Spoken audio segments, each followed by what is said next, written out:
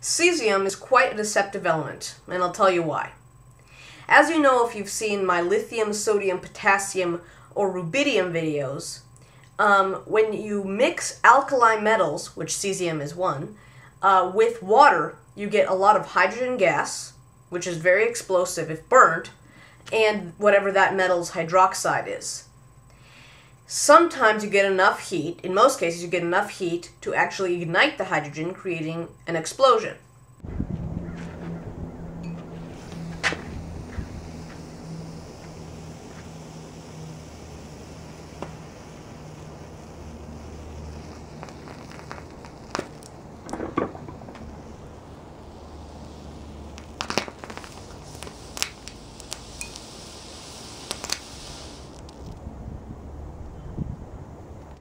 The thing that's special about cesium is that it's the most reactive, non radioactive alkali metal. It is, in fact, the most electropositive non radioactive element in the, on the entire periodic table. Now, this would lead you to think that maybe if you threw cesium into water, you would get the largest explosion per gram of all the alkali metals. This is not true, however. The reason this is not true is that the explosion is actually caused not so much by the heat created by the reaction itself between the alkali metal and the water, but by the burning of the hydrogen gas created from that reaction. Now, because the reaction um, is, mole- is molecule to molecule, one molecule of cesium or one molecule of any alkali metal to one molecule of water, you're going to actually get less hydrogen per gram from alkali metals that have a larger gram to mole ratio, meaning lower down on the periodic table, having heavier molecules. So, actually, cesium is going to produce a lot less hydrogen than, say, sodium. And the, um, you can't have an extremely non reactive, a relatively extremely non reactive alkali metals, such as lithium, because that's not going to create enough heat to ignite the hydrogen gas. So you need one that's going to create enough heat to ignite the hydrogen gas. Sodium will do the, do the trick, but that has a small enough, uh, has enough um, moles per gram, or rather, uh, not that many grams per mole, so that it actually creates a fair amount of hydrogen. Now, the kind of the perfect uh, happy medium for this is sodium because it's reactive enough to ignite hydrogen gas it produces if it's thrown in large enough quantities, and yet it is um, as high up on the periodic table as you can get, having the property that it'll ignite the hydrogen gas, and so it produces quite a bit.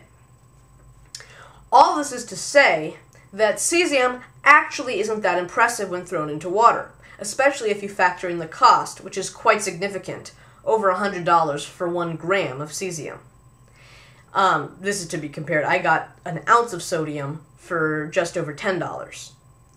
Now, you if you want to see cesium being thrown into water, there are lots of videos of, of that on the web, but I didn't want to spend $100 for a gram of cesium, so I didn't get any. And this is just to put your mind at ease that you're not really missing out on such a huge explosion in this particular video, although you can absolutely go look on the web for other explosions. Beware, though, there's a British television show known as Brainiac that, when disappointed by the reaction they got from their cesium and rubidium samples, decided to enhance them with some dynamite. That is definitely not the actual reaction you'll see from cesium. Alright, enough about cesium being used for, to make explosions, or not really being used to make explosions. Let's talk about the what I think is the coolest use for cesium and this is actually telling time. You could define a second as any as a certain proportion of any other length of time or some natural event. And um, a natural event that you, happens very regularly and will not change throughout time is the duration between oscillations of a certain specific frequency of some electromagnetic radiation, let's say. It could be many other things, but this is one that is constant throughout time and quite precise. Now, to be able to really hone down the, the specific frequency you want, you, would, you want an element that will only absorb one very specific frequency so you know you're getting it right on the mark. Cesium will only absorb in between two hyperfine levels of its own of its ground state, meaning lowest energy state. Um, it'll only absorb one very specific frequency of electromagnetic radiation. So, what this means is that if you have some cesium atoms without with completely no other effects on them, you're going to get a very, very specific frequency. You're, you're going to know you're hitting it on the mark.